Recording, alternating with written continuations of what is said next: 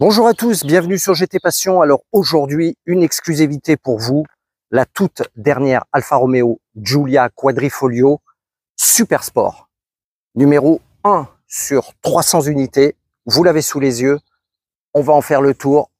C'est un tour en images nostalgique puisque vous le savez, c'est la toute dernière thermique de chez Alfa Romeo avec le Stelvio qui sort en même temps sur cette série puisqu'après toute l'intégralité de la gamme Alfa Romeo embraye, si j'ose dire, sur l'électrique.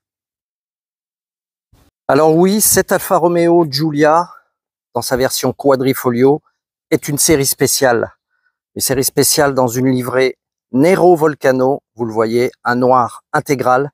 Et la particularité de cette série spéciale, vous le voyez, c'est la première fois dans l'histoire d'Alfa Romeo que le trèfle est sur fond noir, tout simplement en hommage au Mille Miglia, la célèbre course italienne, référence pour Alfa Romeo. Donc vous le voyez, cette Giulia est magnifique, magnifique d'agressivité, une italienne comme euh, malheureusement on n'en verra peut-être plus dans ses configurations thermiques. Vous le voyez avec d'origine des sorties d'échappement signées Akrapovic avec un échappement carbone titane. Vous le voyez l'extracteur arrière. Tout est en carbone. Le béquet, béquet de coffre. Vous avez tous les bas de caisse,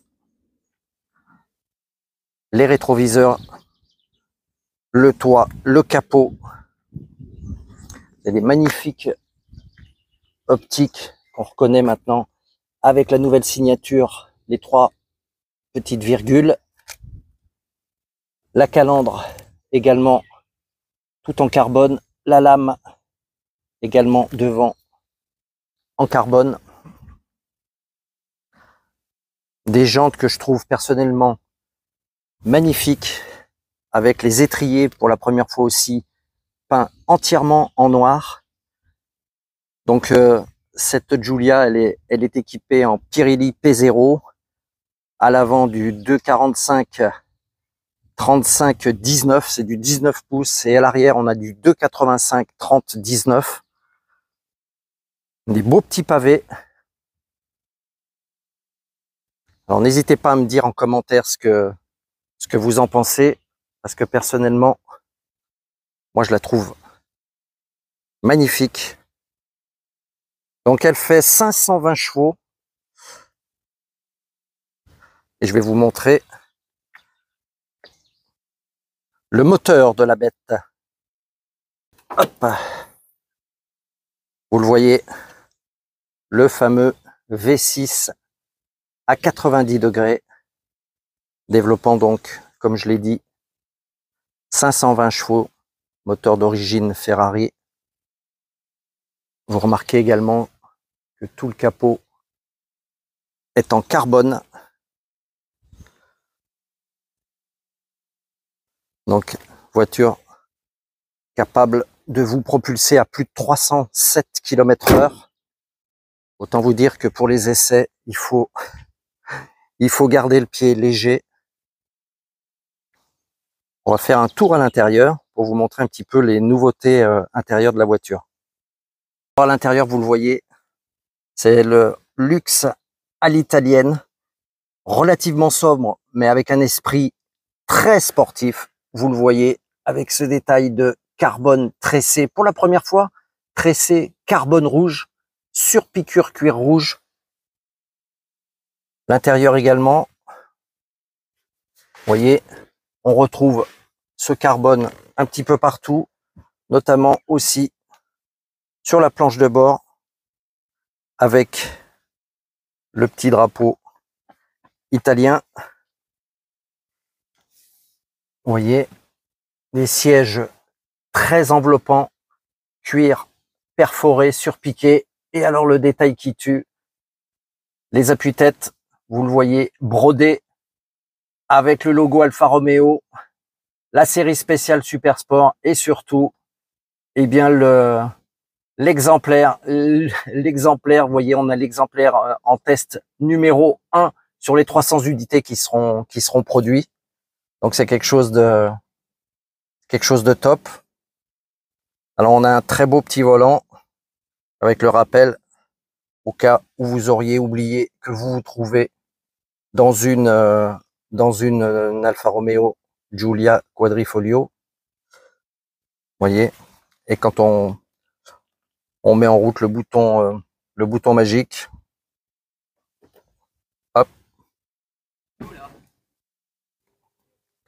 Et voilà, vous avez la cinématique d'ouverture de session qui se met en place que je trouve top. On retrouve, on retrouve le, les fameux compteurs typiques Alfa Romeo. Quand on les manipule, hop, on a les, les différentes configurations, notamment la configuration sport. C'est très bien fait. On a l'accès au menu ici avec les différents euh, les différents alors l'écran est pas très grand hein, mais bon on est à bord d'une d'une sportive et quand on est à bord d'une telle voiture je pense que on n'écoute pas forcément tout le temps la radio malgré que la sono soit de très très bonne qualité. Mais ce qui compte c'est cette sonorité là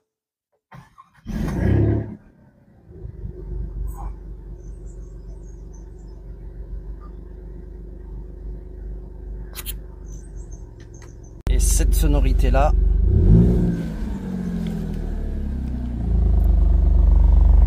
vous voyez.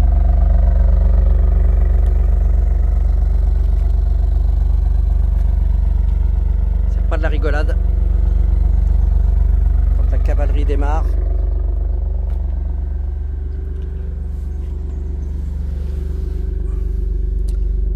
C'est vraiment un kiff total. Et vous voyez, très belle cinématique de, de fin aussi quand on quitte le véhicule. Je trouve ça, c'est des petits détails, hein, mais des petits détails qui renforcent euh, ce côté euh, exclusif. Alors voilà, pour ce qui était de la petite visite intérieure, il n'y a rien qui change de, trop hein, sur cette Giulia que vous connaissez déjà puisqu'on avait déjà eu l'occasion d'essayer la centième anniversaire en quadrifolio également.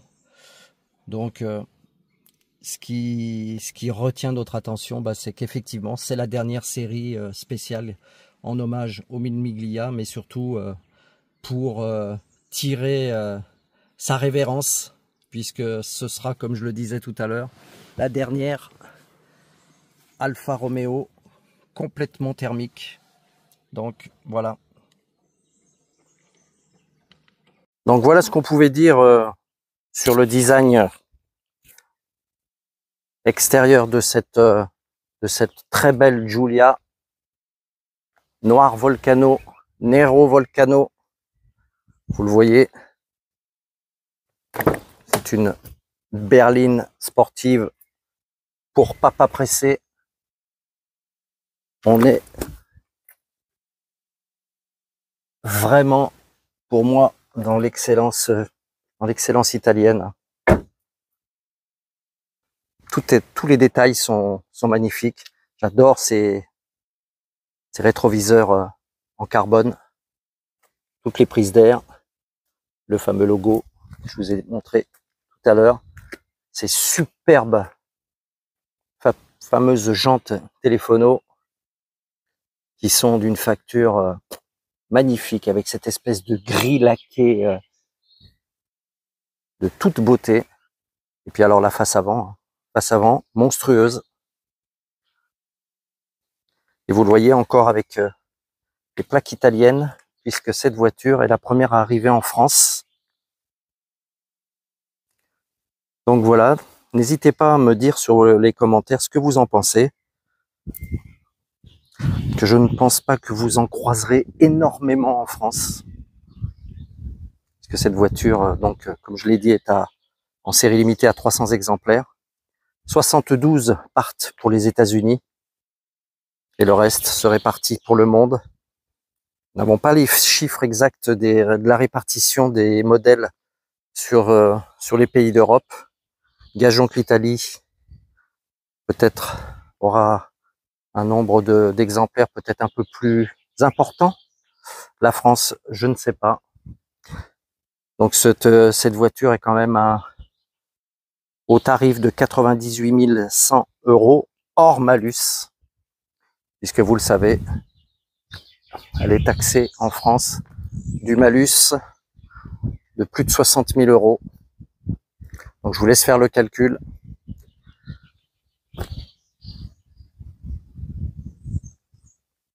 C'est malheureux. C'est ce qui tue les berlines sportives. Nous en France, effectivement, avec la Mégane RS aussi, sur lequel nous avions déjà fait un sujet, hein, et qui se prend un malus de plus de 60 000 euros, autant vous dire que c'est la fin de ce genre de petites euh, voitures sportives sans l'aide de l'électrique, pas plus possible de les voir. La preuve en est, c'est que celle-ci, c'est la dernière de sa génération. Et ce que je vous propose, eh bien écoutez, c'est d'aller euh, faire euh, un petit tour sur les routes.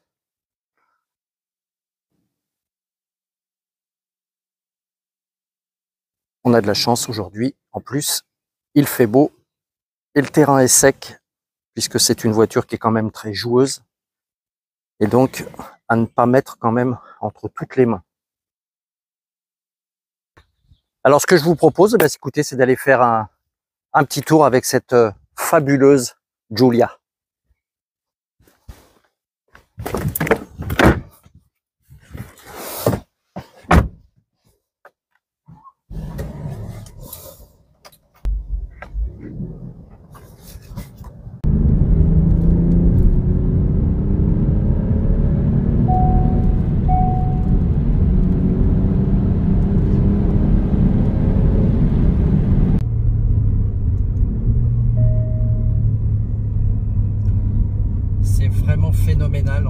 120 chevaux qui y répondent. Alors attention, c'est pas une voiture à mettre entre toutes les mains. Elle est très joueuse, hein. elle part très vite euh, du train arrière, il faut pouvoir la, contenir. Mais bon, c'est un véritable jouet pour grand garçon. Elle se comporte, elle se comporte super bien avec ses roues de 19 pouces et elle est quand même montée en 2,85 à l'arrière et 2,35 à l'avant autant vous dire que elle tient le pavé. Et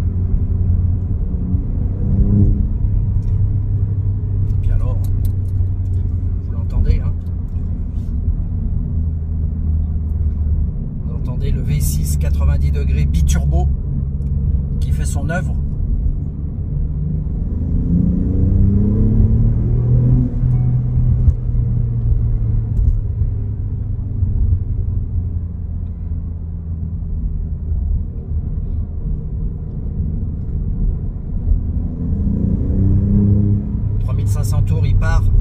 s'enclenchent. On entend un léger, euh, un léger déclic. c'est phénoménal. Plus difficile, ça va être de garder son permis quand on a une voiture comme ça.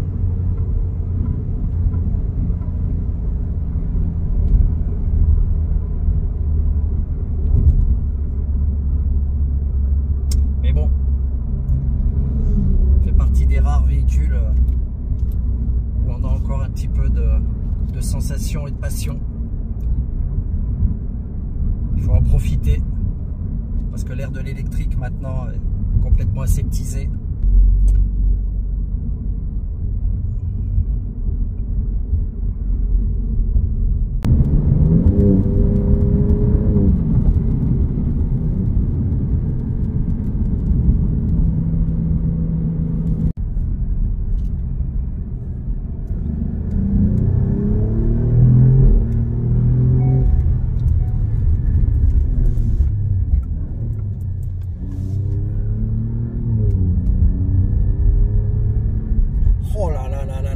Quel moteur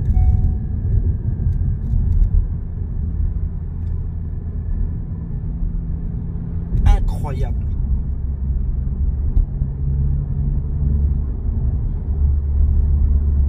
C'est incroyable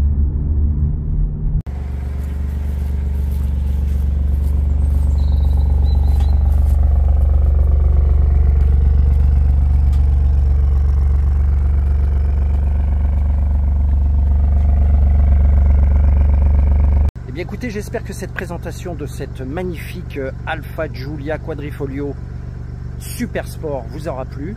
N'hésitez pas à me laisser des commentaires, n'hésitez pas à vous abonner à notre chaîne. Et puis nous, on se dit à très bientôt pour un prochain essai. Ciao